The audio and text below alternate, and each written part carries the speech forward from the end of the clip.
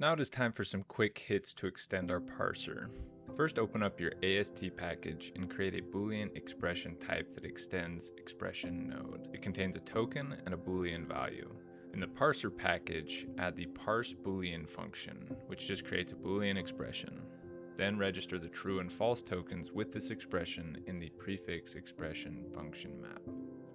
Next up, we need to be able to handle expressions with parentheses. First, associate the left side parens with the parse grouped expression function. Then, write that function as follows. The idea is that we short circuit the entire process by calling parse expression with a value of none to make sure that the full expression within the parentheses is parsed. Next, we will do something a little bit harder, conditionals. In our language, if and else branches don't only act as a control flow for code, they also evaluate to true or false values. Intuitively, we are used to looking at if statements as structures of the following form. The consequence and alternative sections are really just blocks of code statements, with assignments, expressions, etc., that we have largely handled thus far. Good news is that we can follow our same pattern of defining a node and then creating a parser for that particular node. Start by creating a structure to represent these blocks of statements. Call it statement block. We will use this to build the if expression.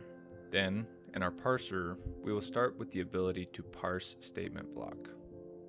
If you look closely, you will notice that this is essentially the same thing as our parse program method. We are just iterating over the statements until we run into our closing scope at the right bracket. Now let's build the parse if expression method up until the consequence block, which will execute if the condition evaluates to true. This should be straightforward. When we consume the first parens, we parse the condition expression. We consume the trailing parens.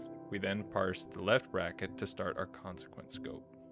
Now let's code the rest to execute the alternative path if there is one. This should be easy to read as well.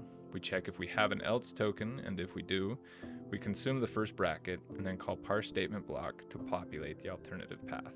And with that, we have some nice, and with that, we have extended our parser in important ways. In the next video, we are going to learn how to parse function calls.